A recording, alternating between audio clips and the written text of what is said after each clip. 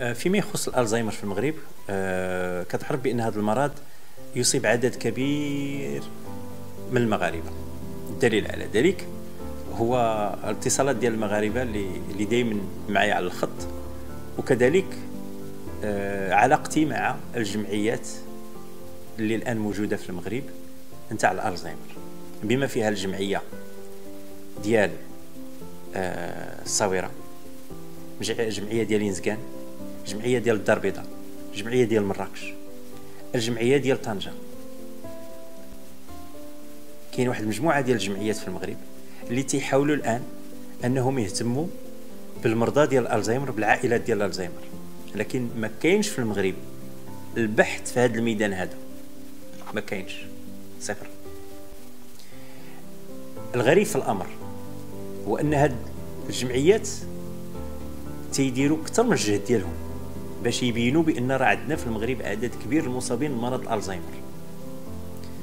إلا أن مؤخرا صاحب الجلالة أعطى الانطلاقة لواحد المركز على ما كنظن المستشفى آه، اللي غيهتم بالمرضى ديال ألزهايمر اللي غادي يكون مستشفى يومي على ما اظن هذا ما ما وصل لي من الخبر وهذا شيء جميل أنه يبداو بهذا سميتو. لكن فيما يخص أن يكون البحث في المغرب في الالزهايمر أو لا يكون الاهتمام ولا نكونوا عارفين شحال عندنا من مريض في الالزهايمر في المغرب حتى واحد ما عارف. لأن الدول كيفاش كيفاش تدير باش تدير البحث؟ قبل ما تدير البحث تدير واحد المسح ديال الخريطة ديال المغرب كله أنه خصنا نعرفوا عدد ديال المرضى اللي عندنا اولا. شكون اللي تيديرها؟ تيديرها الناس المختصين في هذا الميدان اللي هما تيديروا الإحصائيات. الغريب في الأمر أن الناس المختصين في احصائيات في الطب موجودين. لكن ما عندناش un centre اللي غادي يجمع هاد ال data من من مختلف المدن ويديرها في واحد في واحد في واحد ال dossier وينشروا بأن راه عندنا عدد المصابين كذا وكذا وكذا وكيصيب الناس اللي هما أكثر من 60 اللي هما عاديين وفيهم الناس اللي هما ورا تيجيهم وراثي. هنا المشكل. لأن المريض ديال الزهايمر الا جاه وراثي راه كيقدر يصيبو في السن وهو صغير. يعني كيقدر يضربو لأن أصغر واحد لقينا في العالم عنده الزهايمر 28 سنة.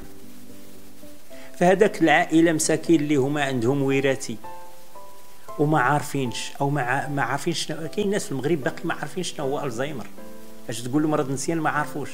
غير تيشوف شي واحد مسكين ما تيبقاش يعقل تيقول يا مسكين ولا حمق راه ماشي حمق سيدي الله يهديك. راه هذاك السيد عنده مرض وخصو تكديه داويه. اش تيديروا هما؟ تيديه يزوروا السادات تيعيط على الفقهاء. واحد العالم أولا تيشدوه مسكين تيسدوا عليه. تيزوليه ما تيرضاوش الناس يشوفوه. هادو من الأخطاء الكبيرة. مريض الالزهايمر خصك تعاملو كأنه كيما كنتي كتعاملو من قبل وتزيد عاد تزيد تعطف عليه بالحنان لأنهم كيحتاجوا الحنان أكثر والعناية أكثر. أنا عارف بأن العائلات كيترهقوا معاهم. أنا كإرهاق فيما يخص أن يكون عندك واحد عنده هذا المرض في الدار. لكن هاد الناس هادو خص لهم متابعة من طرف أطباء نفسانيين لأن هما كيطيحوا في dépression اذا حنا ما عندناش لا متابعة للعائلة لا مساعدة للعائلة لأن الدواء تيدير 1100 درهم للشهر اللي ما يقدروش يخلصوه العائلات يعني ما فهمتش. اشنا هو النوع ديال التغطيه ديال التغطية اللي عندنا في المغرب؟